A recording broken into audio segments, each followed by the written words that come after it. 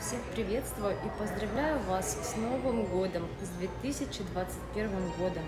Пусть он будет для вас успешным, но не ждите ничего от этого года. Совершайте сами поступки, сами превозмогайте себя, постоянно придумывайте нечто новое. Не стойте на месте, даже если у вас все хорошо, все равно прорабатывайте новые планы на будущее, потому что никто не знает, что может произойти завтра.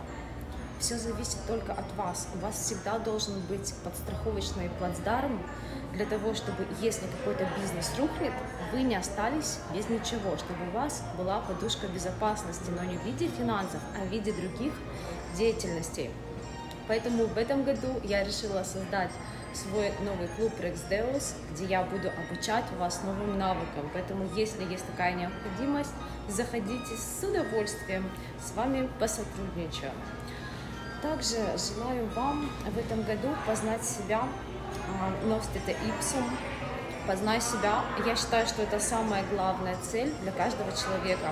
Знать самого себя – это действительно дарует счастье, любовь, гармонию. Вы точно знаете, куда вы двигаетесь, вы точно знаете, кто вы и откуда вы.